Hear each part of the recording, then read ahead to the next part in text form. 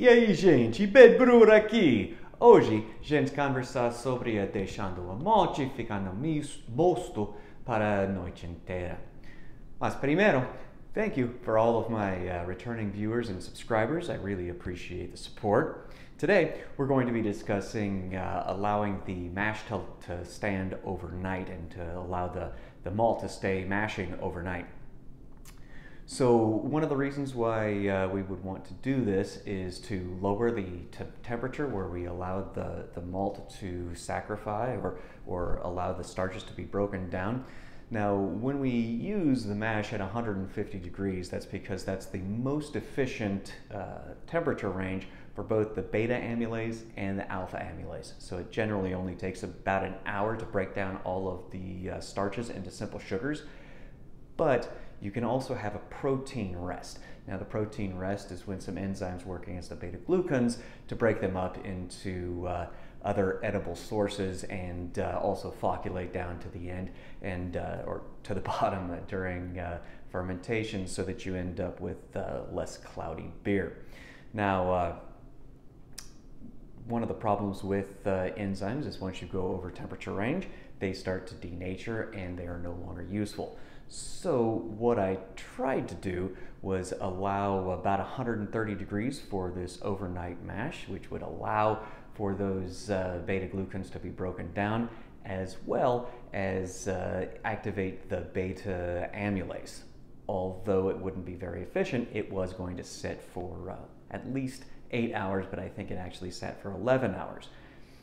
Curious enough, and uh, unfortunately, the uh, first freeze of uh, the winter was also that night. So when I came out, the uh, mash was actually standing at 80 degrees after I had set it up at uh, 130. It should have still stayed over 100 degrees for at least three to four hours, which should have been plenty of time for the beta amylase to, to work on those starches. Uh, so I'm curious as to what happened here.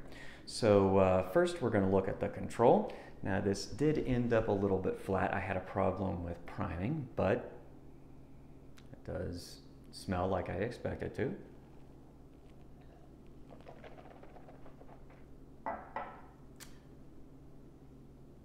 little bit of sweetness on that, although um, that is the control, so I know it's uh, all broken down. So this one should be a little bit on the sweet side too, but the aroma is a little more pronounced as we would expect since there is a little bit more carbonation here.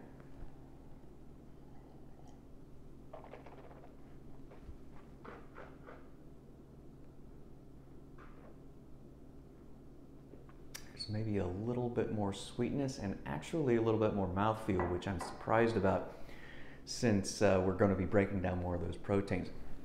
Now the clarity on uh, this guy is a little bit uh, uh, also problematic. You can't really judge the clarity on this because I allowed this to ferment under pressure and I didn't alter the size of my dip tube. So this was not a keg that I generally ferment under pressure. And uh, so I actually grabbed a little bit of that uh, sediment from the bottom, which could also be affecting the mouthfeel. But the flavor is the same, so I am excited about the uh, experiment. I'm going to try it again. Uh, this time I'm going to make sure that it doesn't freeze or I'm going to leave it inside so that it isn't affected by the temperature so much. But there, uh, there we go is the conclusion for this experiment. Now there is a uh, update from the uh, fermenting under pressure.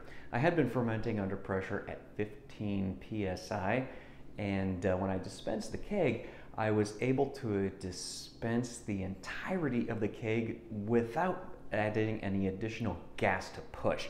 Now it did come out a little bit foamy, so I'm going to back it out just a little bit, but it is an interesting experiment that uh, allows me to go ahead and save some money also on the uh, cart CO2 pushing out the, uh, the beer. So that's also pretty exciting.